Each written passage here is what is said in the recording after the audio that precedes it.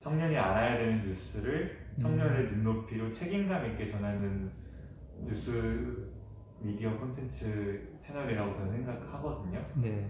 근데 그 중에서 조금 저희가 비중을 두고 싶은 부분은 책임감 있게인 음, 것 같아요. 책임감. 네, 그 이슈를 책임감 있게 다룬다.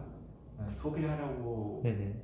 다루는 것은 아니고 정, 네, 이들의 목소리를 온전히 담을 수 있게 도와주려고 하는 음, 채널 그래서 변화무쌍하게 변화, 변화, 네, 네, 계속 변화해가는 것 같아요 채널이. 음, 초반에는 정치 설명을 열심히 하는 채널이었고요. 네. 뭐 그리고 과도기 시점도 있었고 지금도 정치 콘텐츠 설명을 하지만 네. 지금은 당사자의 목소리를 더 찾아보려고 노력하고 있는 중인 것 같고요.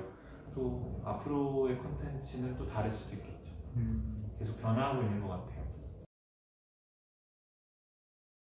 저희 채널은 콘텐츠가 다 다르거든요. 형식도 너무 다 다르고 음, 정해진 규격이 하나도 없어요. 네. 콘텐츠들이. 네. 무슨 포맷 형식도 아니고요. 음, 그매 이슈마다 새로운 형식과 새로운 편집과 뭐 다 새로운 걸 가- 새롭게 음. 다시 만들거든요.